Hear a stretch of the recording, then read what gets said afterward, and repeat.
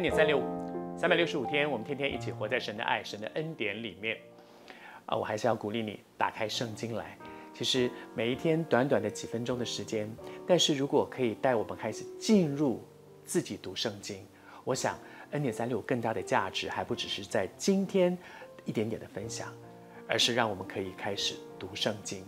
当你进到神的话语里面，神每一天亲自有话给你。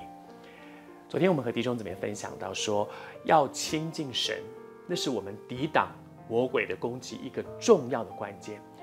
仇敌是黑暗的，我们的神是光明的。怎么样能够把黑暗赶出去？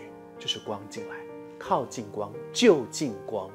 而在就近光的同时，我们需要面对：如果神是光，我自己却活在黑暗里，我怎么样就近光呢？因此，求神帮助我们洁净我的手，我所做的。清洁我的心，让我的心思、我的意念、我的言语、我的行动，在神面前，我们还不只是光进来先指责撒旦的黑暗，光进来恐怕第一个要面对的是我里面有没有一些黑暗呢？那么人怎么样在神的面前可以真的得到这样的帮助？接下来他讲，他说我们务要一定要一定要在主的面前自卑，神就让我们升高。在主的面前自卑，当然这个自卑不是自卑感的自卑，而是我来到神的面前，我面对我自己生命里面的不洁、软弱、失败，我有一个真实的谦卑。你还记得前两天我们分享的吗？神抵挡骄傲的人，赐恩给谦卑的人。而这个自卑表现在哪里呢？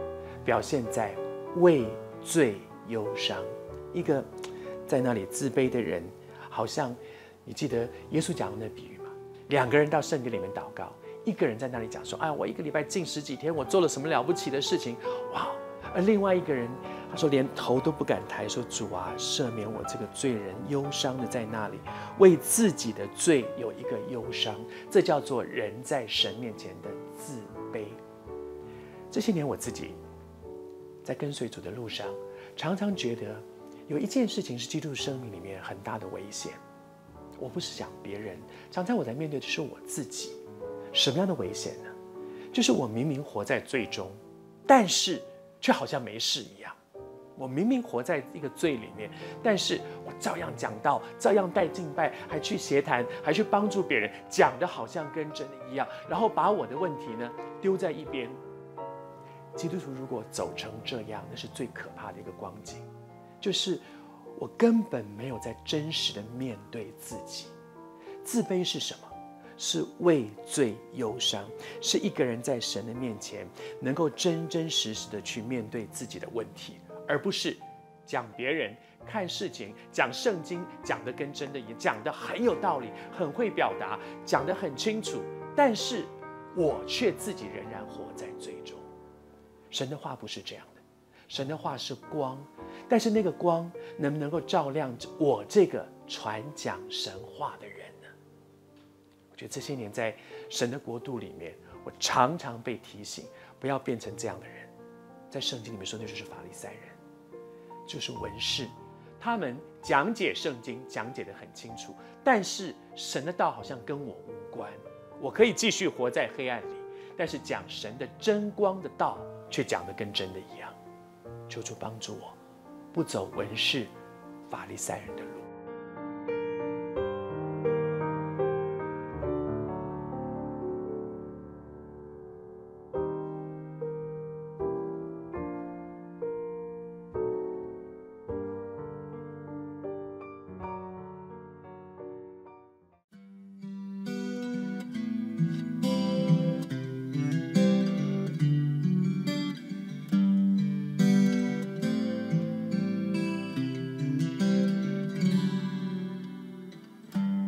生命舞台上，世界是盲目掠夺的战场，失去信仰，阳光之下看不见方向。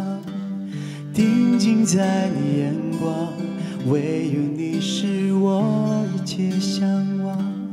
你在舞台的中央，哦，耶稣，你在世界的中央。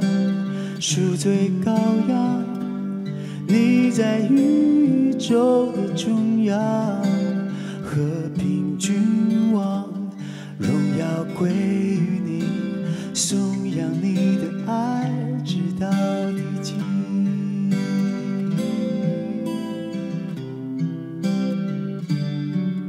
耶稣。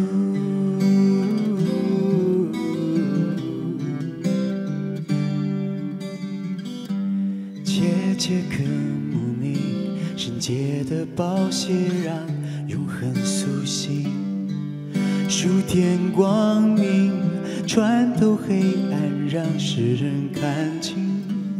全凭在于你心，赐平安良善智慧的灵。你在舞台的中央，哦，耶稣。你在世界的中央，赎罪羔羊；你在宇宙的中央，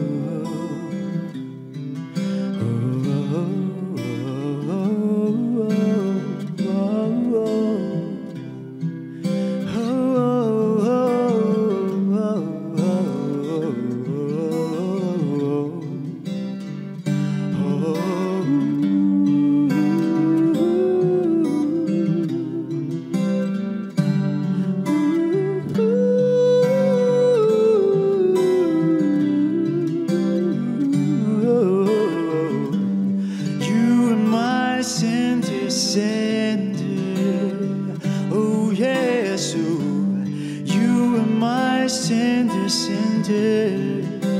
赎罪羔羊，You are my center, center. 和平君王，